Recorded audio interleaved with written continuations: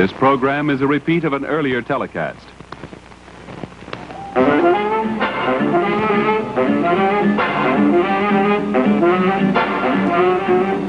In color from Hollywood, it's time for America's favorite dance party, American Bandstand. And now here he is, the star of our show, Dick Clark!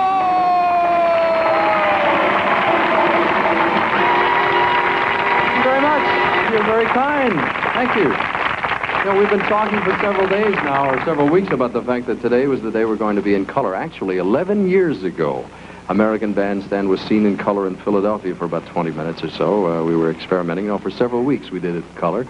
But we're delighted to uh, now be coming to you every Saturday in glorious living color, and we have kind of an exciting show for you today. A couple of very interesting films with uh, Bobby Hart and Tommy Boyce, uh, the fantastic sitar player uh, Ravi Shankar, the man you've heard so much about.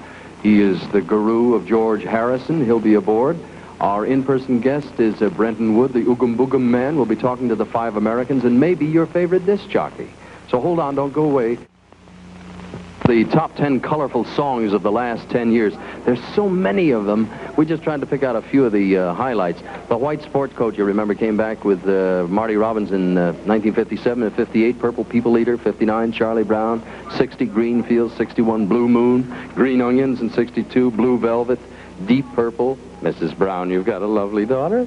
And, of course, last year, the Green Berets. Uh, we talked to the folks here, and this was the one that they wanted to hear. Let's see, down this one here, the Coasters.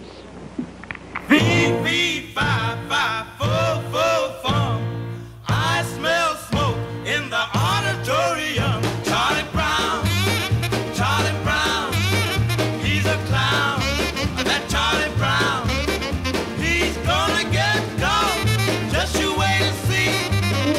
everybody always picking on me? That's him on his knees. I know that's him. Getting seven comma eleven down in the boys' gym. Charlie Brown, Charlie Brown, he's a clown. That Charlie Brown, he's gonna get caught. Just you wait and see. Why is everybody always picking on me? Who's always writing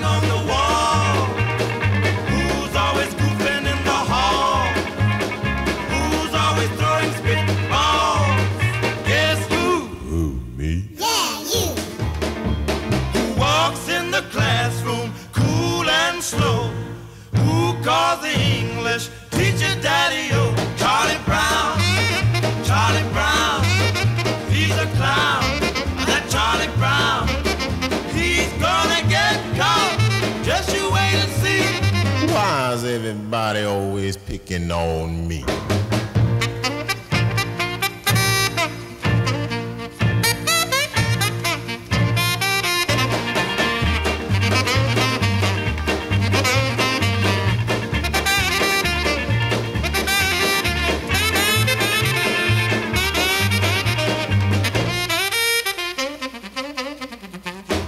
Walks in the classroom cool and slow. Calls the English teacher daddy-o? Oh, Charlie Brown, Charlie Brown, he's a clown. That Charlie Brown, he's gonna get caught. Just you wait and see.